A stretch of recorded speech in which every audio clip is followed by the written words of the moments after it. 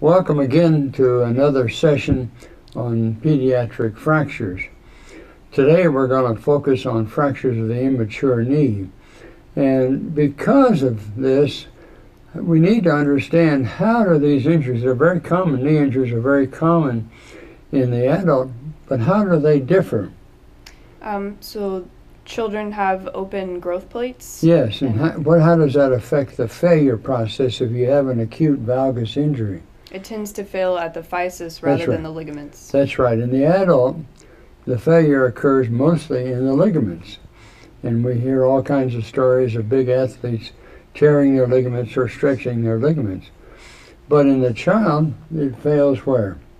In the physis. That's right, because the physis.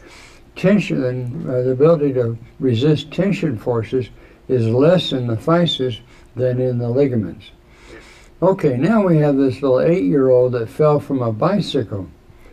What kind of fracture is this? How would you, you're in the emergency room and you're calling your attending staff, and how would you describe this?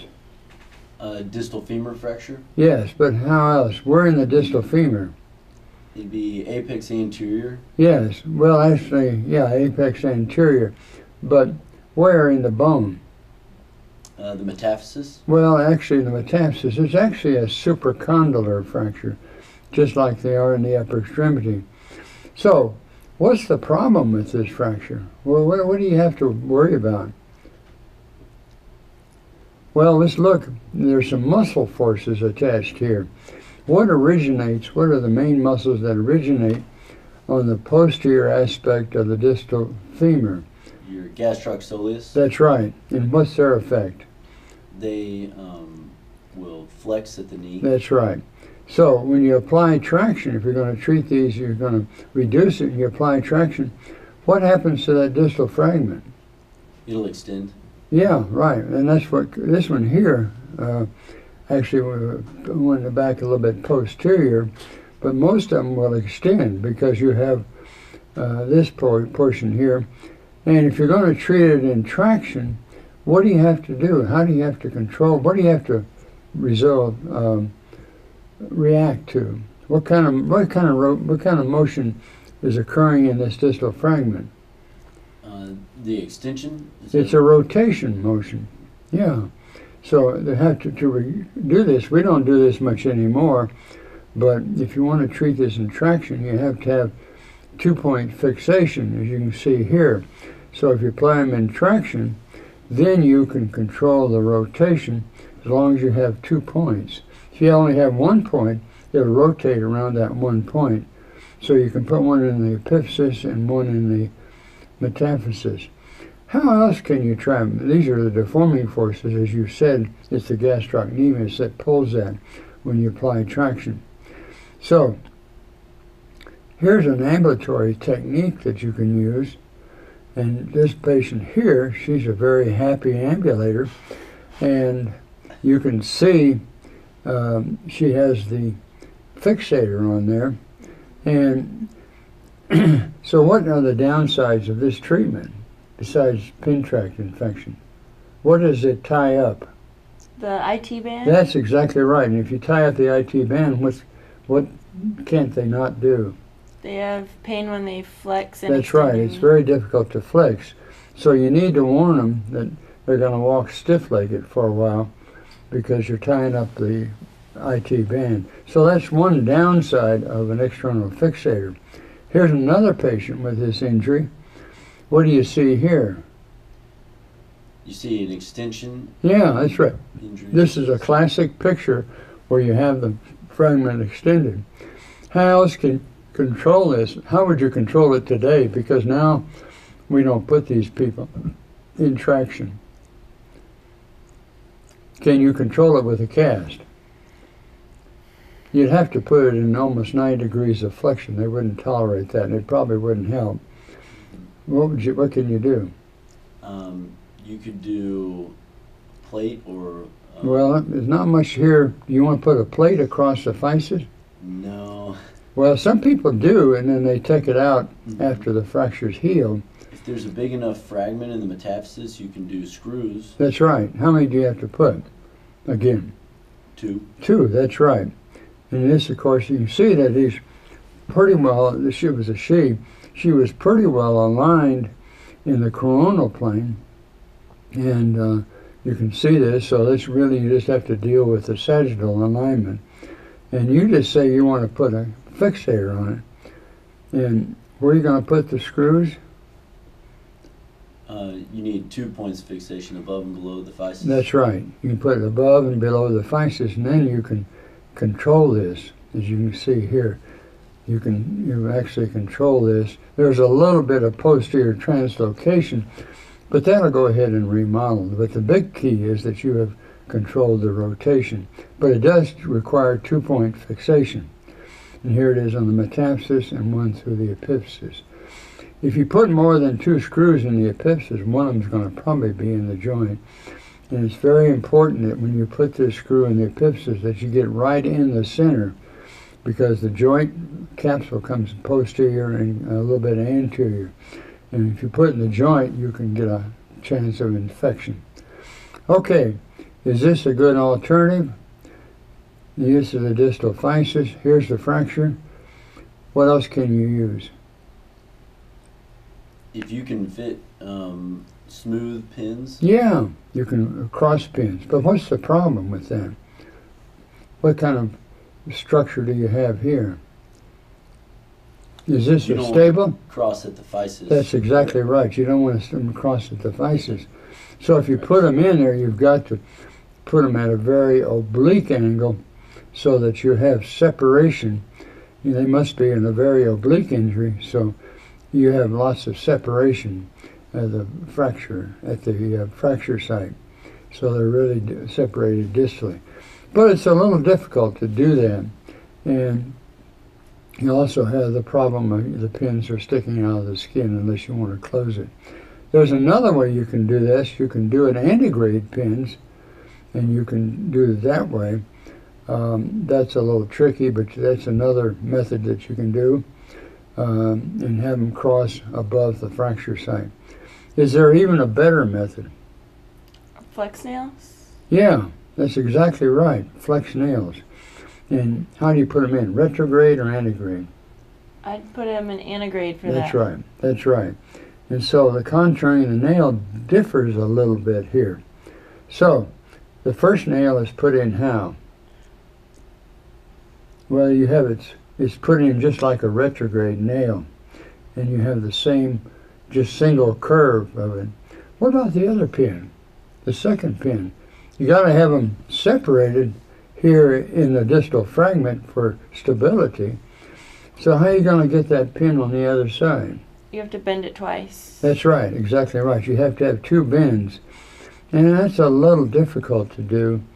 Um, if you do it before then, it's a little difficult to pass. But there's a little trick that you can do.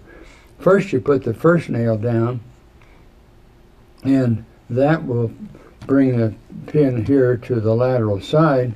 And the other pin is the second pin. You bring it down about two thirds or three fourths and this, this is the point of the second nail, but it's got to be medial. And so how's this accomplished? Well, what you do, first you bend the nail 90 degrees, and then you rotate it uh, uh, 180 degrees, and then that'll bring, that one, when you do that, that rotates the tip from medial to lateral. And so that's a good trick that you have, and so then you have your two point fixation here, and you have the two nails spread. So that's a little trick that you can use for, this is what the AO technique has done and uh, recommends. And this, this way you can get good spread at the fracture site. So, if need be, you can actually penetrate, if they're smooth pins, you can penetrate through the physis. It doesn't seem to be causing growth arrest if they're smooth pins. Here's another one. This one is a distal diaphyseal metaphyseal junction. And this would, you don't have a lot of uh, fixation in the distal fragment. And again, you would manage this one with pins. And you can see this patient here has a lot of good separation just above the physis. So there's another way to consider regarding stabilization. Here you have this, and you can use a submuscular plate that you can use. You need to make sure that that distal pin is a little bit proximal to the physis. Do you know what some of the problems are with this plate? Well, what about in the future when it heals? Do you need to take it out? Yes, you do, because this right here serves as a stress riser, and we've had a number of these that if they fall, they'll fracture right here.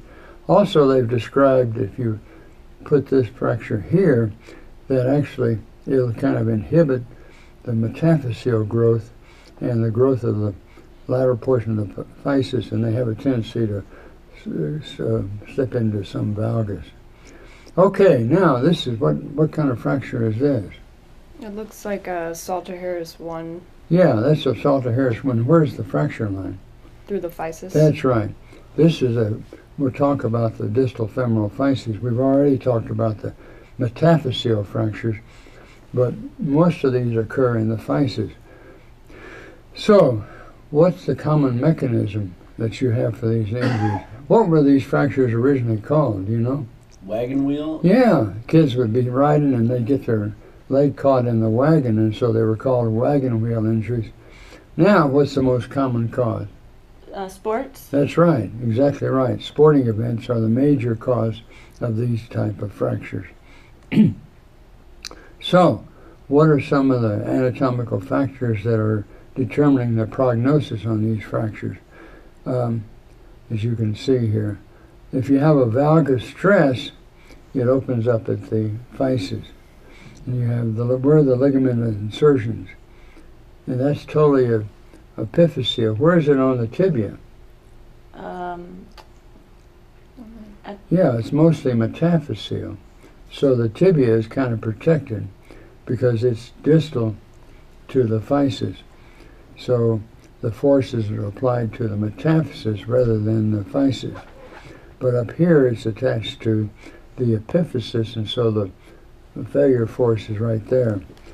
Now, what are mammillary processes? They're extensions of the physis that kind Yeah. of go up to the metaphysis. Yeah, and what, what's their major um, effect? Why, do you see them in the distal femur? They're to add stability. That's right, because there's a lot of tension stresses. They, they add stability. They stabilize the physis. What's the downside? Um, they can get disrupted when there's a fracture, and then that will cause. Um, Yeah, well, we see a lot of fractures, the physeal fractures, but they don't arrest. Why is it they arrest here?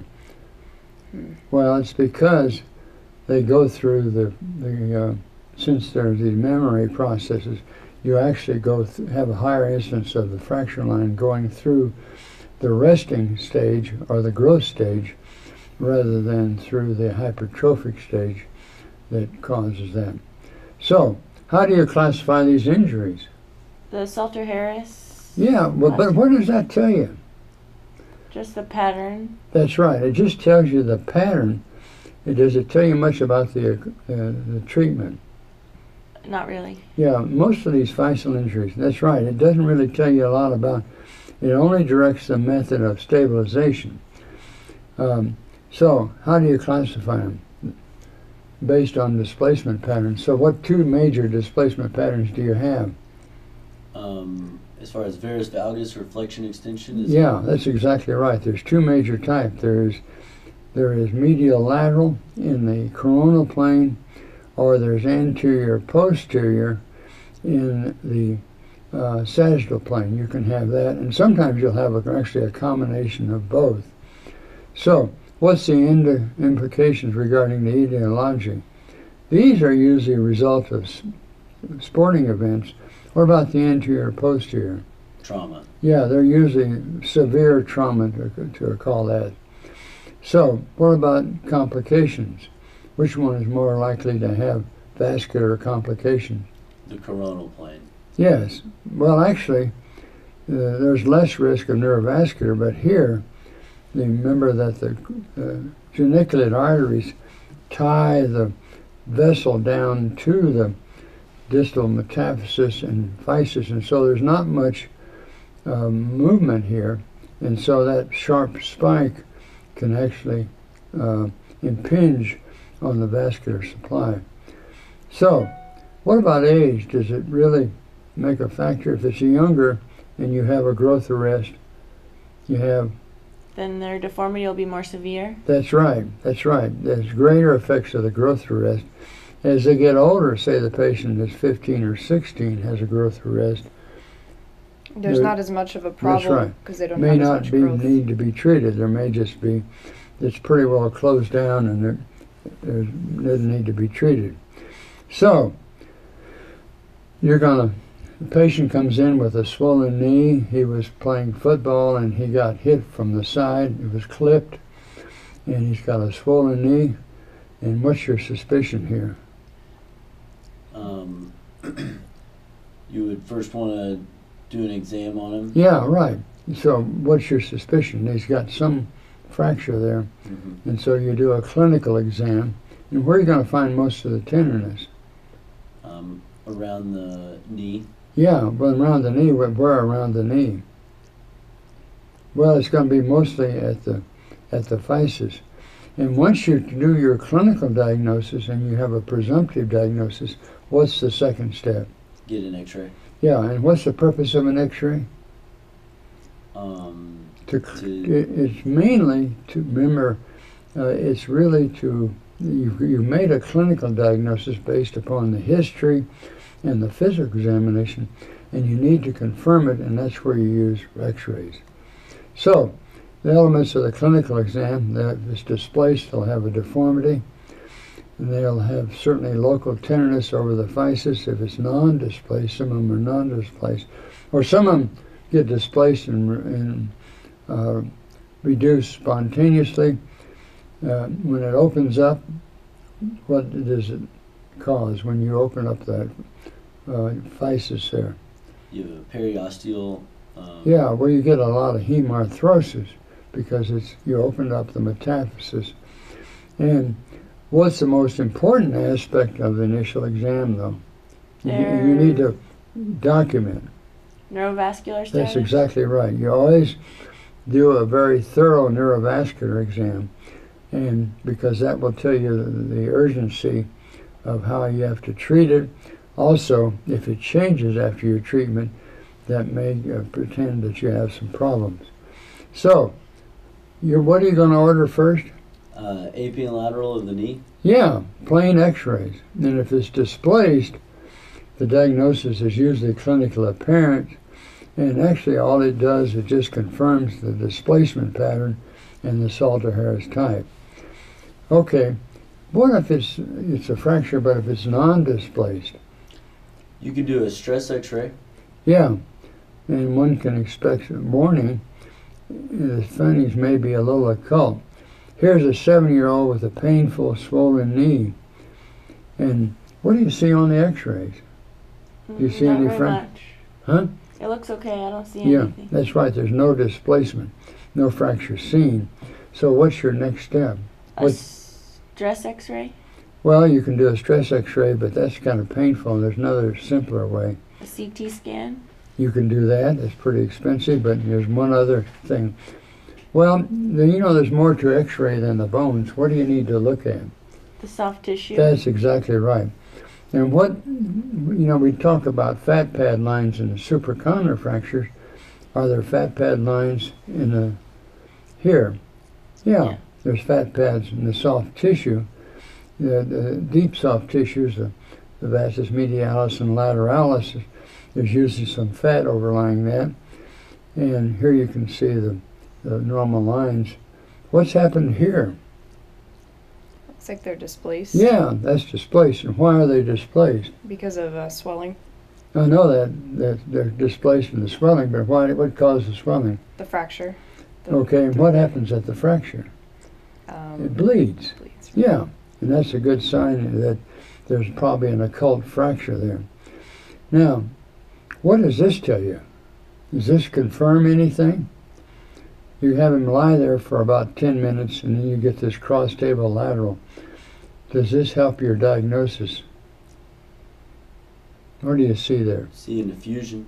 Yeah, you see an effusion, but what's unique about this effusion? Is intra-articular. Yeah, how do you know that?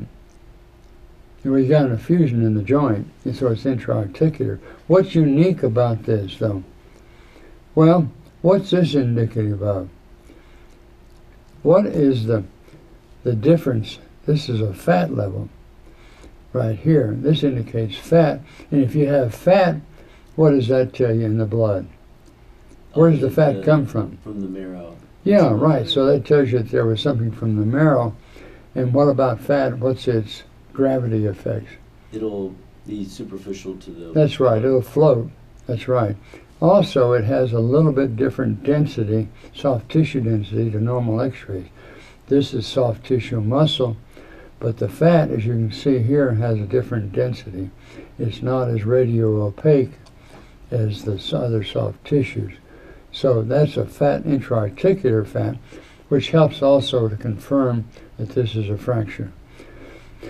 Now, you've done all this and you want to really make a diagnosis of where that fracture is, what would you do next? What would you do next? What's the best way to tell the, the really look at the effects The CT scan? yeah, you can use a CT. Now, this is the old days when we had polytomes, and you can see here, and if you use a, this is the same, this was the old CT, but a CT will help you a lot. That's right. And of course, the painful swollen knee. What about this patient? He had a very swollen, tender knee.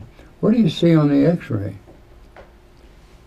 There's a little fragment. Yeah, okay, you see this There. little fragment on the medial side. And what does that indicate? Where, what is that? Say it's most likely a Salter-Harris 2. Yeah, well, actually, this is a normal finding. This is where the adductor magnus attaches, and this is a normal finding. The only problem was he wasn't tender medially, he was tender laterally. So, what would you do to, to confirm your diagnosis? Or look at it to find out where the fracture is? You could start with the oblique view You could try an oblique view and you didn't see much. and then the stress or the CT scan. Yeah, well, actually, what's even better, if you want to look at uh, deep in there.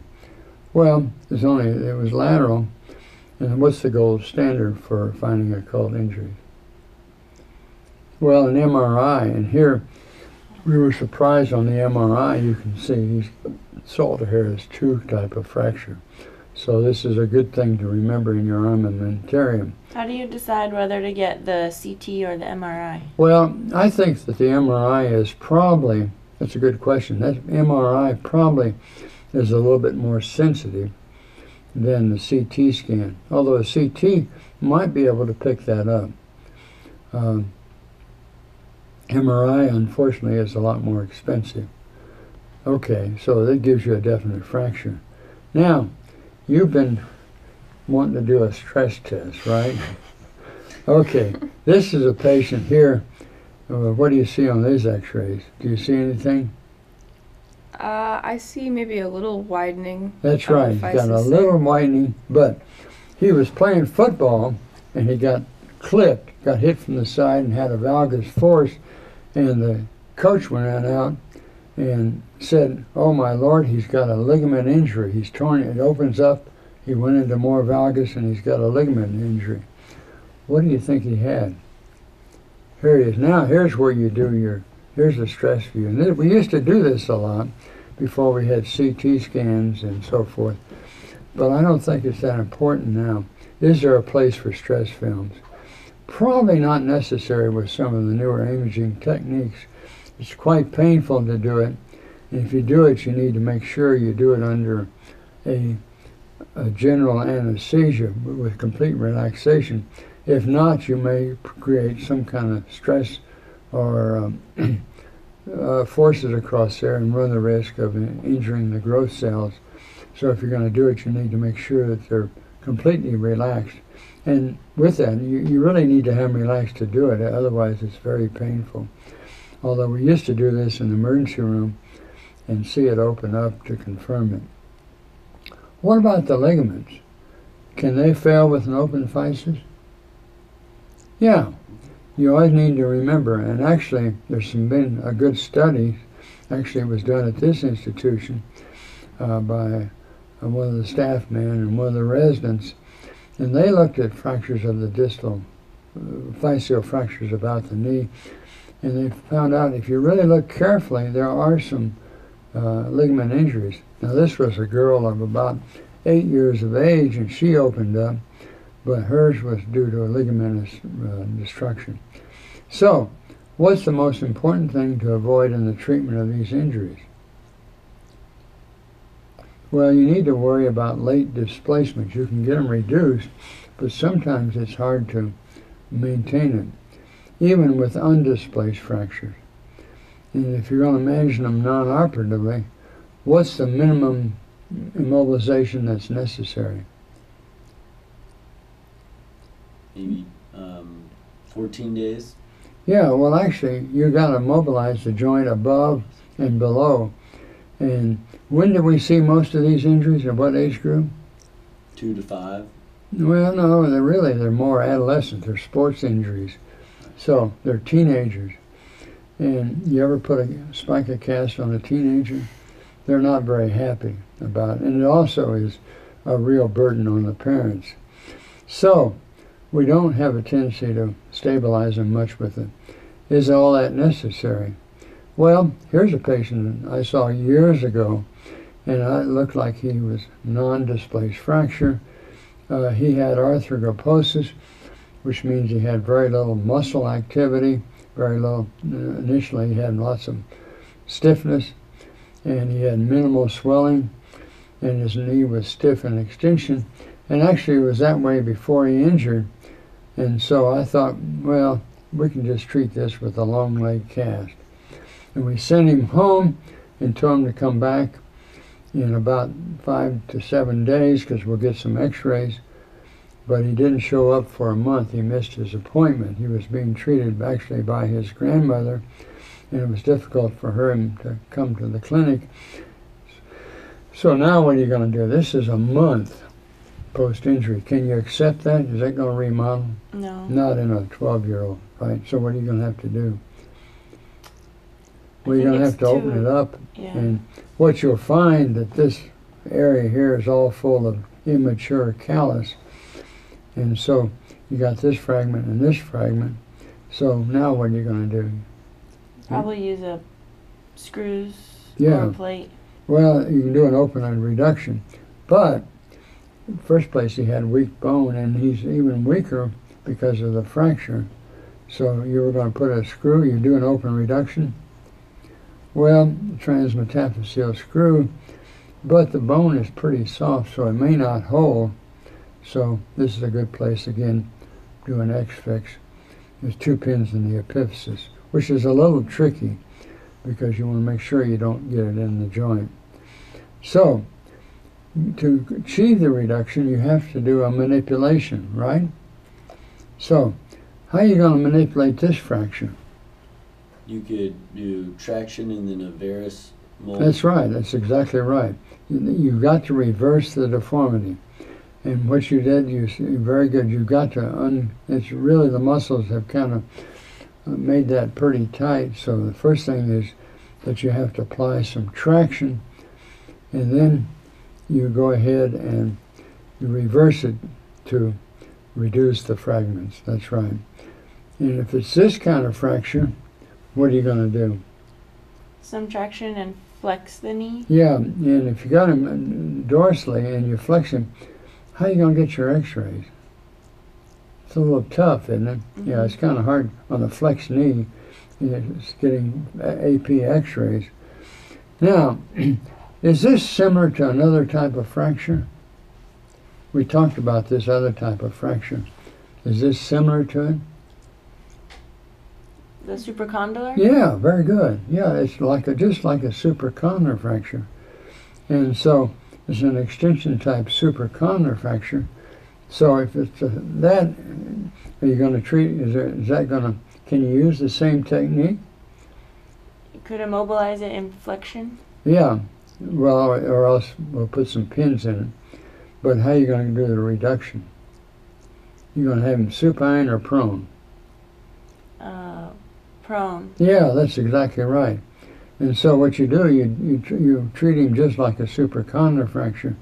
Here you got to first apply traction, place prone, and then you hyperflex. You apply traction, then you hyperflex, and when you hyperflex, you got it reduced, and then you secure it with cross pins, smooth cross pins. Okay.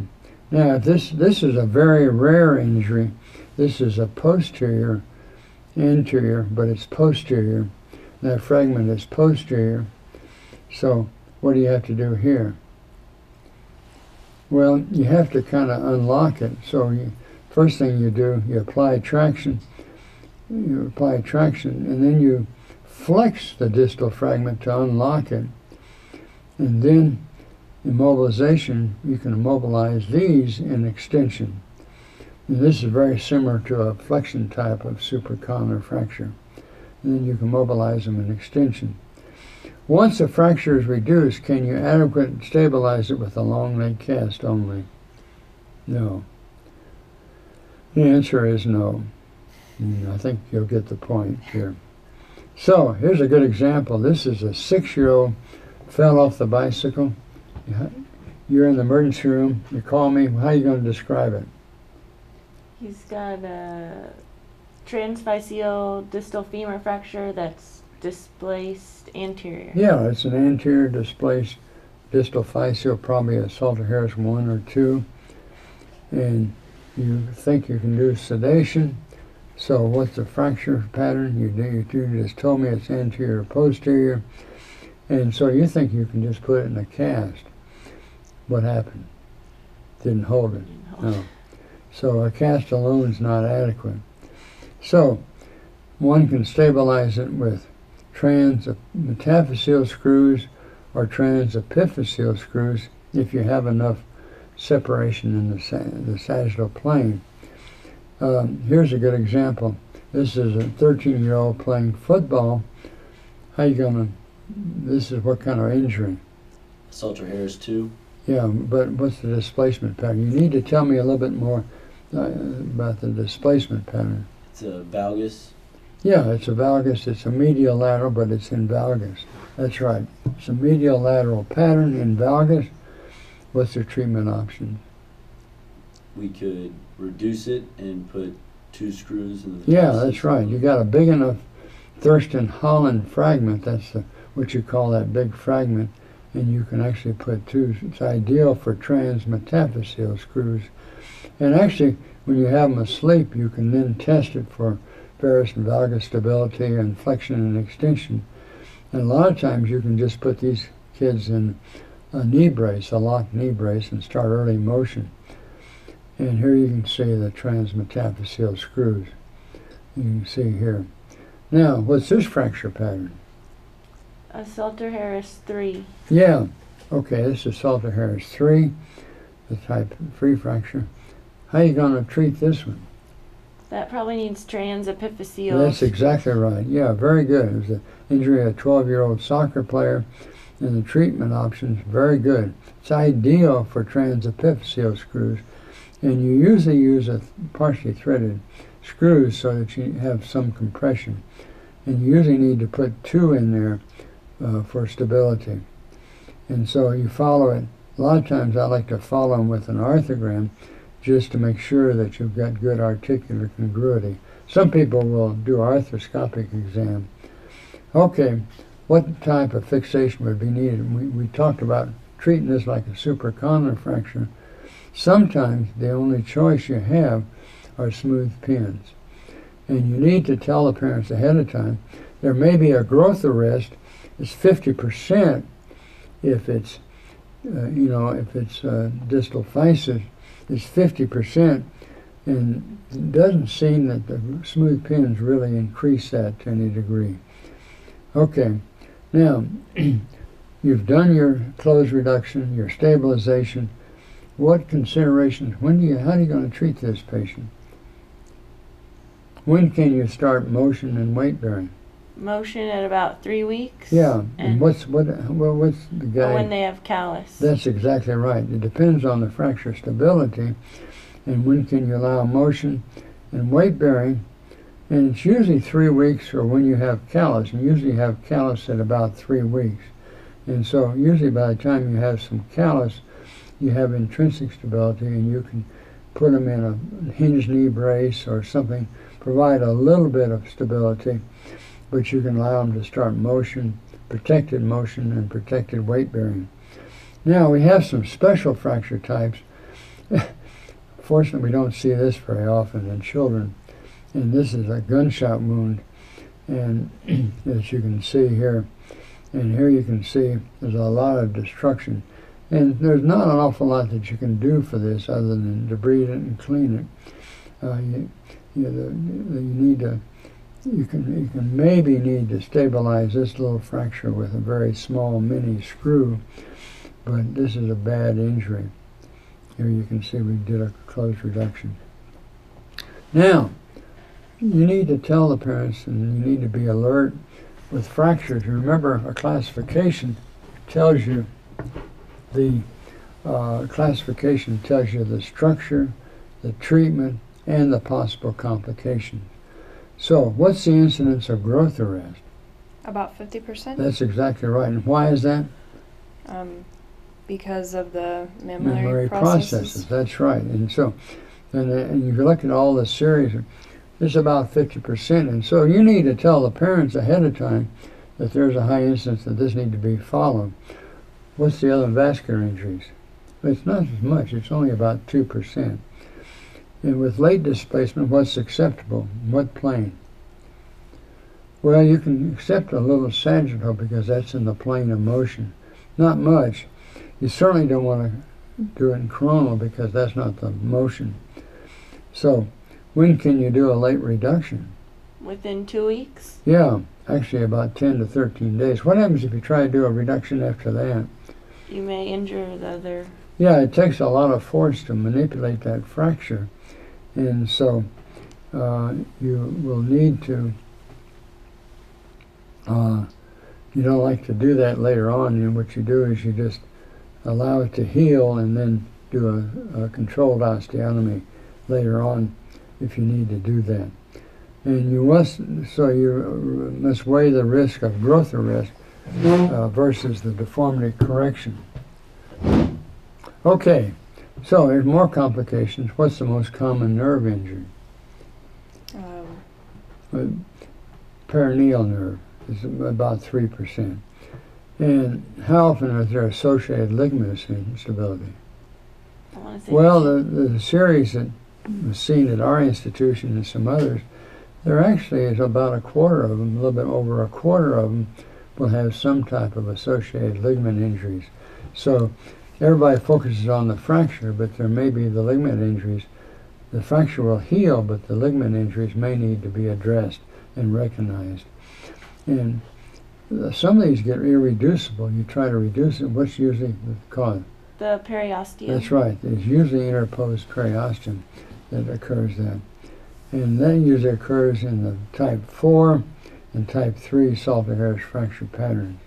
And those usually often need to be open reduced as well.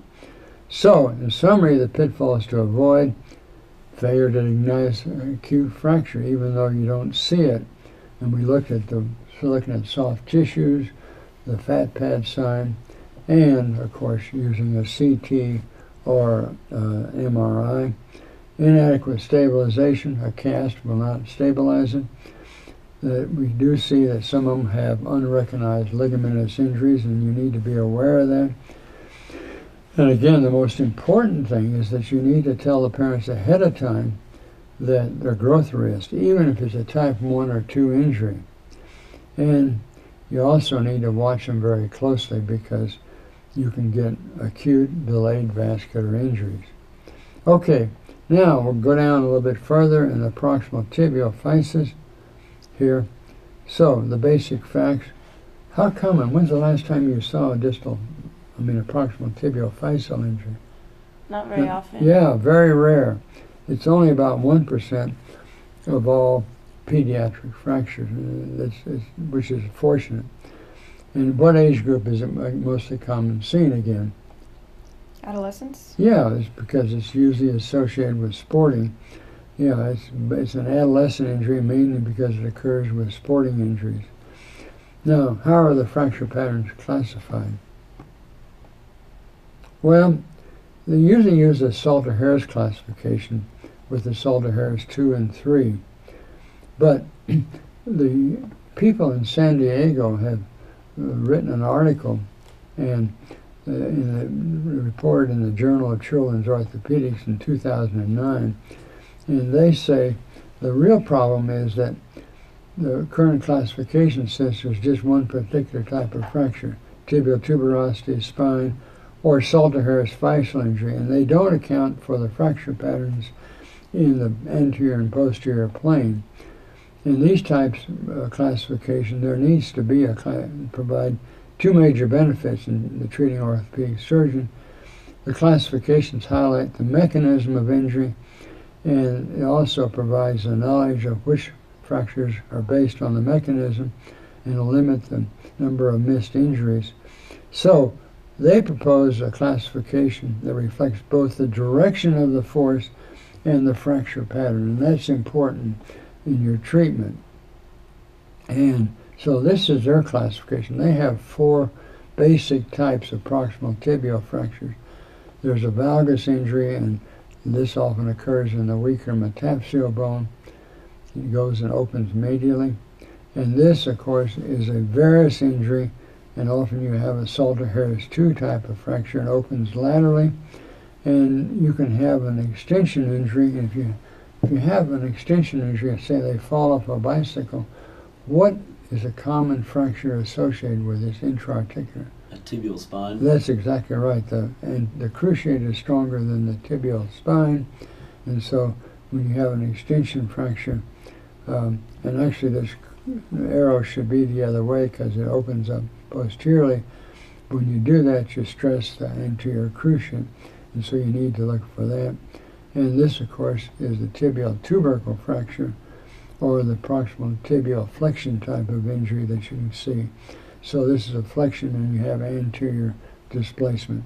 So this is a good classification because it tells you the direction and the cause and where the fracture pattern usually is. And so it's it seems to be the standard now that people have accepted. Now, why why are these injuries rare?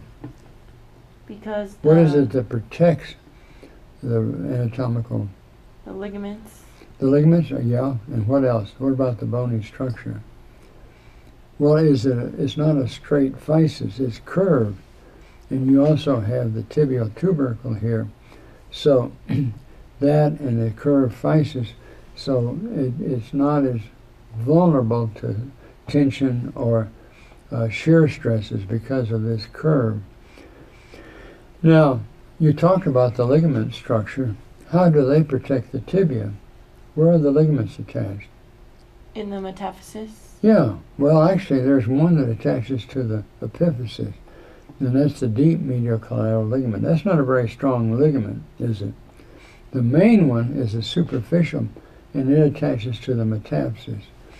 And the, the, on the lateral side, you have the joints, and the, the fibular collateral attaches to the fibula.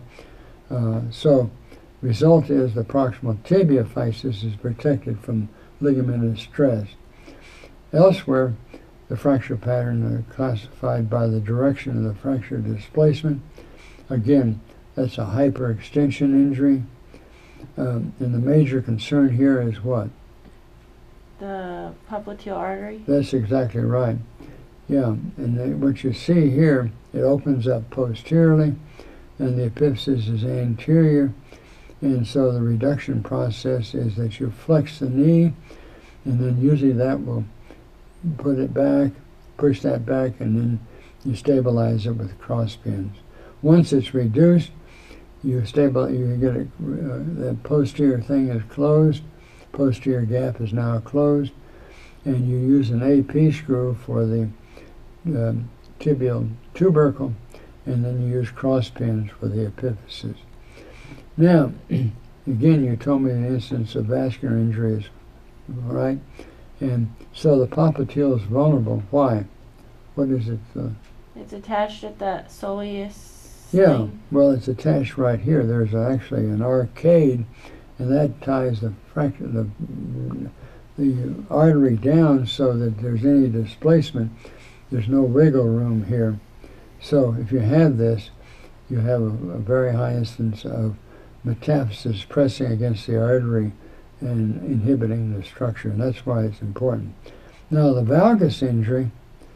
So what's the unique relationship of the fibula? Why is it you get this Salter Harris 2 fracture? What's on the lateral side?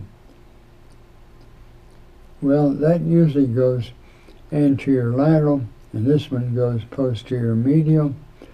And so these are the result of valgus forces, but there are some. And why is it that the ligaments don't? Okay. Well, the areas here, this is a this will kind of resist compressive forces in a valgus injury, but the tension forces are still applied here. So you, the components that you commonly have with a valgus injury, because you have a lot of ligamentous support here on the lateral side, is you have rupture of the medial collateral ligaments, and then you have compression laterally, and this can gives you a Salter Harris 3 fracture pattern. So, how are they managed surgically? You like to operate, don't you? You can do. Um, What's the first thing you have to do? Reduce it. Reduce it. Okay. What is your concern that may inhibit your reduction?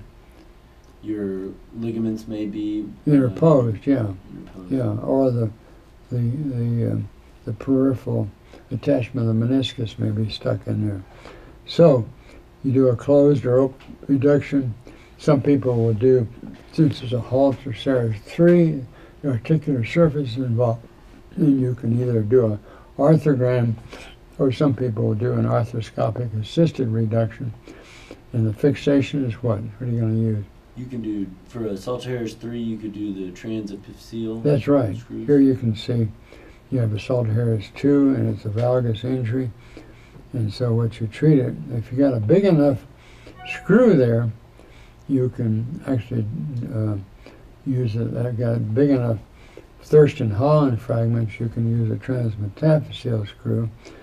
Or sometimes, like in this fracture, here you had to use transepiphyseal and transmetaphyseal screws. So sometimes you have to use transepiphyseal. Now, this is a flexion injury, and usually in the adolescence, if you have an acute flexion injury, what kind of fracture pattern do you have? What fails?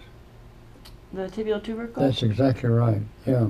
But occasionally the whole physis will fail, and you get this flexion injury. So it's rare. What's your major concern here? the anterior compartment? Yeah, the anterior compartment, or you get growth arrest or inadequate correction. So how are you going to treat this one? with a couple screws Yeah, across but- the. Yeah, and so what you do, you have to extend it. You extend the distal fragment, and then you apply some small cross pins, percutaneous pins, as you can see here. Here you can see it. So, here's the general treatment process. First, you need to make sure you evaluate the neurovascular status before you do the treatment to make sure that you didn't alter it with your treatment process you uh, reduce the fracture and you assess the stability. And you also, again, uh, evaluate for ligamentous injuries. And you look for joint surface congruity. And you stabilize. And then you follow carefully for growth arrest. So, what's the instance of growth arrest in this fracture? I know it's less than the distal femur. Yeah, right. It's much less than the distal femur. It's very uh, rare, so, but it occurs about 14 to 24 percent. So, thank you very much for your participation. You did well.